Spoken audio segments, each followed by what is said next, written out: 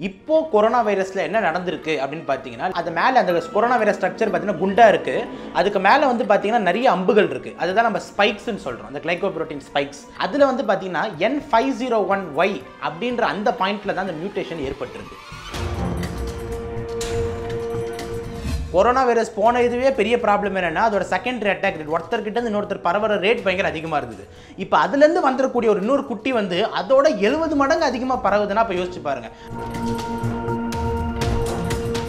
Already வந்தவங்களுக்கு வந்து இந்த வைரஸ் வந்து பார்த்தீங்கன்னா திருப்பியும் வராது.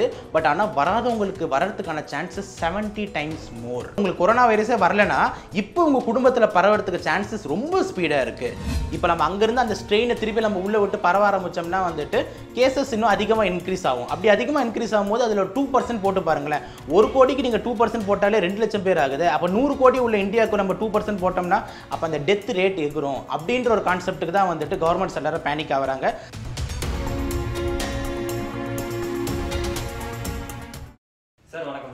வணக்கம் சார் இப்போ பிரிட்டன்லேருந்து வந்த ஒருவருக்கு வந்து கொரோனா தொற்று வந்து உறுதி செய்யப்பட்டிருக்கு. இது எதனால மக்கள் வந்து பெரிய பேனிக் ஆகுறாங்க? இது ஒரு சாதாரண கொரோனா வைரஸ் அப்படின்னு கலந்து போக மாட்டாங்க ஆக்சுவலாக வந்துட்டு இப்போ பிரிட்டன்லேருந்து வந்தவங்களுக்கு வந்துட்டு வந்திருக்குன்னு சொல்கிறது உண்மைதான். இது வந்து கொரோனா வைரஸ் வந்து முன்னாடி இருந்துகிட்டு இருந்தது தானே?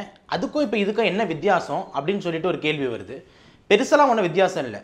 நம்ம சயின்ஸில் சொன்னோம் மியூட்டேஷன் சொல்லுவாங்க. மியூட்டேஷனில் வந்து அப்படின்னா ஒரு இது வந்து வேறு ஒரு இதுவாக மாறுறது ஓகேங்களா ஸோ அதில் வந்து பார்த்தீங்கன்னா டிஃப்ரெண்ட் டைப்ஸ் ஆஃப் மியூட்டேஷன் இருக்குது single point mutation multiple point mutation genetic mutation அப்படின்னு நிறைய மியூட்டேஷன் இருக்குது சிங்கிள் பாயிண்ட் என்னன்னா அதோட கோர்வையில் ஒரே ஒரு இது மட்டும் மாறுறது. அதுதான் சிங்கிள் பாயிண்ட் மியூட்டேஷன் இப்போது கொரோனா வைரஸில் என்ன நடந்திருக்கு அப்படின்னு பார்த்தீங்கன்னா லேட்டஸ்ட்டாக பிரிட்டன் பாப்புலேஷனில் ஒரு செப்டம்பர் அக்டோபர் மந்த்லேருந்து ஒரு டிஃப்ரெண்ட்டான ஒரு ஸ்ட்ரெயின் வந்து ஒலா வந்துகிட்டு இருக்குது கொரோனா வைரஸ் தான். ஆனால் அதோட ஸ்ட்ரக்சரில் அந்த ஸ்ட்ரக்சரில் எங்கே அப்படின்னு பார்த்தீங்கன்னா அது மேலே அந்த கொரோனா வைரஸ் ஸ்ட்ரக்சர் பார்த்தீங்கன்னா குண்டாக இருக்குது அதுக்கு மேலே வந்து பார்த்தீங்கன்னா நிறைய அம்புகள் இருக்குது அதுதான் நம்ம ஸ்பைக்ஸ்னு சொல்கிறோம் அந்த கிளைகோப்ரோட்டீன் ஸ்பைக்ஸ் அதில் வந்து பார்த்தீங்கன்னா N five zero one Y அப்படின்ற அந்த பாயிண்டில் தான் அந்த மியூட்டேஷன் ஏற்பட்டிருக்கு. அந்த சிங்கிள் பாயிண்ட் மியூட்டேஷன் அப்படி ஏற்பட்டதுனால நார்மலாக அந்த வைரஸ் ஒரு டிஃப்ரெண்ட்டான வைரஸை உருவெடுக்குது. அந்த வைரஸ் பேர் தான் இப்போ நம்ம வந்து பிரிட்டன் என்ன சொல்கிறாங்கன்னா VUI two zero two zero one two four zero one அப்படின்னு சொல்லிட்டு பிரிட்டன் கவர்மெண்ட் வந்து லேபிள் பண்ணியிருக்கு ஸோ இந்த ஸ்ட்ரெயின் ஆஃப் வைரஸ் வந்து இப்போ அங்கே பரவிக்கிட்டு இருக்கு. அதே கொரோனா வைரஸோட ஒரு டிஃப்ரெண்ட்டான முகம் அப்படின்னு சொல்லலாம். ஸோ அந்த வைரஸோட இது வந்து பரவிட்டு இருக்கிறதுனால அங்கேருந்து வந்த பிரிட்டன் பாப்புலேஷனு அந்த ஸ்ட்ரெயினை அந்த முகத்தை இங்கே கூட்டிட்டு வந்து விட்டுட்டாங்க. அப்படின்னு சொல்கிறது தான் வேர்ல்டு ஃபுல்லாக இப்போ பேனிக்காக இருக்குது பிரிட்டனோட ஃப்ளைட்ஸ் எல்லாம் வந்துட்டு ஸ்டாப் பண்ணுங்க. நம்ம வந்து மிங்கிள் ஆகாதீங்க அப்படின்ற மாதிரி ஒரு அச்சம் கிளம்பி இருக்கு so it is a corona virus அதில் டவுட் கிடையாது. ஆனால் அந்த சிங்கிள் பாயிண்ட் மியூட்டேஷன் ஏற்பட்டிருக்கு. அதனால வேற ஒரு ஸ்ட்ரெயின் அப்படின்றதுனால தான் இவ்வளோ ஒரு ஹைப் சார் இந்த பழைய கொரோனா வைரஸ்க்கும் இந்த நியூ ஸ்ட்ரெயின் கொரோனா வைரஸ்க்கு என்ன டிஃப்ரெண்ட் இதோட ரீச் எப்படி இருக்கும்? என்ன டிஃப்ரென்ஸ் அப்படின்னு பார்த்தீங்கன்னா வந்துட்டு நான் வந்து திருப்பி சொல்கிறேன் ஒரு ரெண்டு விஷயம் இருக்குது ஆன்டிஜெனிக் ட்ரிஃப்ட்னு சொல்லுவாங்க இன்னொன்று ஆன்டிஜெனிக் ஷிஃப்ட்னு சொல்லுவாங்க. எளிய முறையில் சொல்லணும்னா ஒரு சின்ன ஒரு ஆள் இருக்காங்க ஒரு லைட்டாக ஒரு மீசையை மட்டும் எடுக்கணும். அது ட்ரிஃப்ட்னு சொல்லுவோம். ஒரு ஆள் தலையே மாத்திரம் அது ஷிஃப்ட்னு சொல்லுவோம். மீசை எடுக்கிறதுனால பெரிய அளவுக்கு ப்ராப்ளம் வராது. இப்போ நடந்திருக்கிறத மியூட்டேஷன் வந்து பார்த்தீங்கன்னா ஒரு சிங்கிள் பாயிண்ட் மியூட்டேஷன் ஒரு சிங்கிள் ப்ரோட்டீன் மட்டும்தான் சேஞ்ச் ஆயிருக்கு. நான் திருப்பி சொல்கிற மாதிரி வந்து ஃபைவ் ஜீரோ ஒன் ஒய் அந்த இடத்துல மட்டும்தான் வந்துட்டு சேஞ்ச் ஆயிருக்கு. ஸோ இதனால வந்து பார்த்தீங்கன்னா ஒரு ட்ரிஃப்ட் ஒரு ட்ரிஃப்ட் போச்சுன்னா கேசஸ் அதிகமாகும். டிரான்ஸ்மிஷன் அதிகமாகும். ஏன்னா ஒரு புது ஸ்ட்ரெயின்ன்றதால பரவுறது பயங்கரமாக இருக்கும். அவ்வளோதானே தவிர அதோட வீரியத்தில் பெரிய லெவலில் வந்து எஃபெக்ட் இருக்காது அப்படின்றது தான் வந்து உண்மை. ஸோ அங்கேயே பிரிட்டன் பாப்புலேஷன்லேயே வந்து பார்த்தீங்கன்னா த ரேட் ஆஃப் டிரான்ஸ்மிஷன் பயங்கர அதிகமாக இருக்குது seventy percent high than the previous corona virus corona virus போன இதுவே பெரிய ப்ராப்ளம் என்னென்னா அதோட செகண்டரி அட்டாக் ரேட் ஒருத்தர்கிட்ட இன்னொருத்தர் பரவற ரேட் பயங்கர அதிகமாக இருந்தது.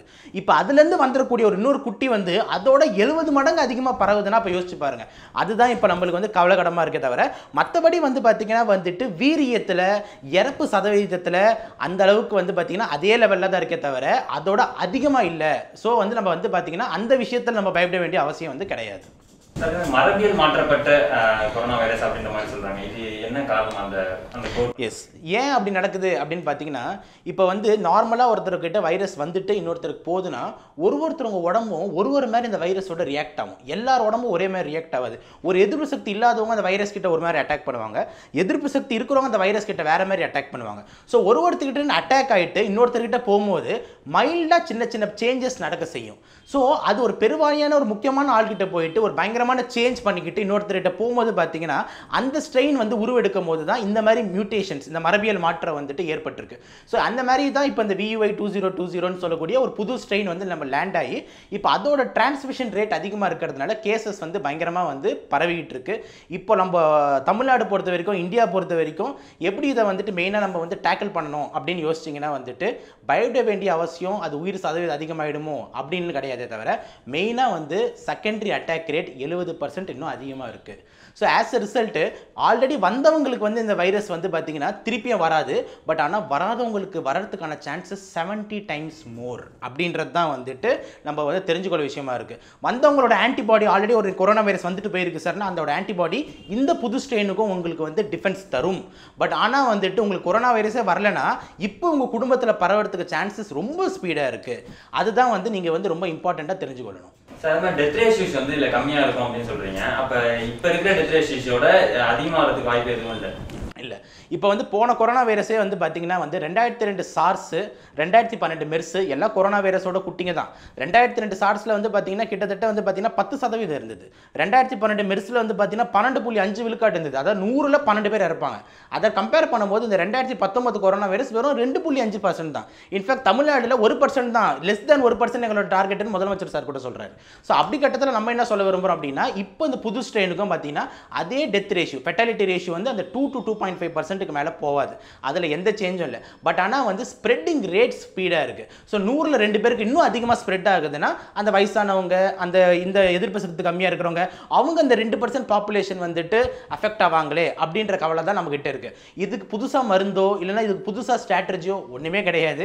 ஆல்ரெடி போன கொரோனா வைரஸ்க்கு நம்ம என்ன ஸ்ட்ராட்டஜி யூஸ் பண்ணிட்டு இருந்தோம்? அந்த ஃபீஃபா டபிள்யூஹெச்ஓ சொன்ன அந்த அஞ்சு ஸ்ட்ராட்டஜி சோஷியல் டிஸ்டன்சிங் மெயின்டைன் பண்ணுங்க. கை கழுவுங்க. அனைவரும் யூனிவர்சலாக மாஸ்க் யூஸ் பண்ணுங்க.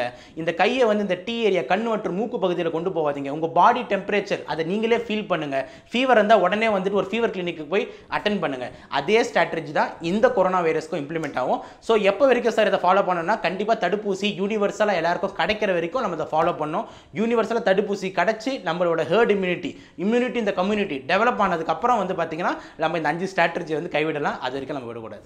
சார் அதே மாதிரி இப்போ இன்னொன்று என்ன சொல்கிறாங்க அப்படின்னா செகண்ட் டே வந்து ஆல்ரெடி இந்தியாவில் வந்து வர ஆரம்பிச்சிருச்சு அப்படின்னு சொல்கிறாங்க ஸோ அதுக்கும் இந்த புதிய வகை கொரோனாவுக்கு ஏதாவது தொடர்பு இருக்கா? ஓகே வேவ் அப்படின்னா என்ன அப்படின்னு பார்த்தீங்கன்னா ஒரு ரைஸ் ஆகி திருப்பியும் வந்து ஃபால் ஆகுது. ஃபால் ஆகிட்டதுக்கப்புறம் திருப்பி அடுத்த ரைஸ் ஆகிறது அடுத்த வேவ். ரெண்டாவது அலைன்னு சொல்கிறோம் தமிழ்நாடோ சென்னை பொறுத்த வரைக்கும் வந்து நம்ம இந்தியாவை ஃபுல் ஃப்ளாட்டாக இன்னும் ஆகலை. ஃபுல்லாக வந்து டவுனே ஆகலை.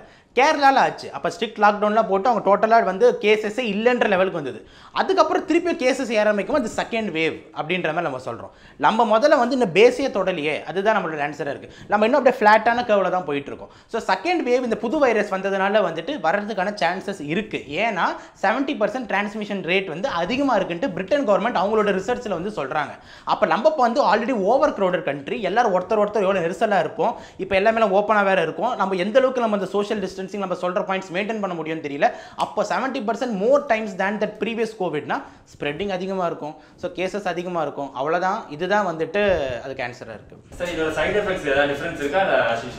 இல்லை அறிகுறிகள் எந்த மாற்றமும் கிடையாது. சேம் அதே அறிகுறி தான். ஒரு சிங்கிள் பாயிண்ட் மியூட்டேஷன் தான். அதனால் பெரிய லெவலில் வந்துட்டு நம்ம இதிலலாம் வந்துட்டு இந்த மேனிஃபெஸ்டேஷன்ஸோ டெத் ரேஷியோலையோ இதிலலாம் எந்த சேஞ்சுமே தெரியாது.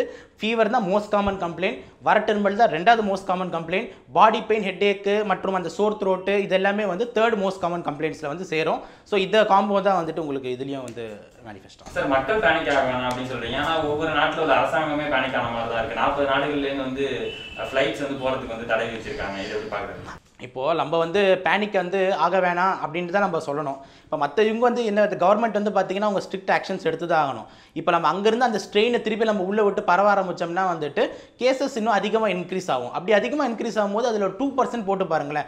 ஒரு கோடிக்கு நீங்கள் டூ பர்சன்ட் போட்டாலே ரெண்டு லட்சம் பேர் ஆகுது. அப்போ நூறு கோடி உள்ள இந்தியாவுக்கு நம்ம டூ பர்சன்ட் போட்டோம்னா அப்போ அந்த டெத் ரேட் எகுரும் அப்படின்ற ஒரு கான்செப்ட்டுக்கு தான் வந்துட்டு கவர்மெண்ட்ஸ் எல்லாரும் பேனிக் ஆகிறாங்க.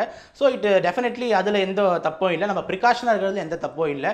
நம்ம இந்த லூஸில் வந்து விட முடியாது. ஏன்னா டிரான்ஸ்மிஷன் ரேட் வந்து அதிகமாக இருக்குது நன்றி சார்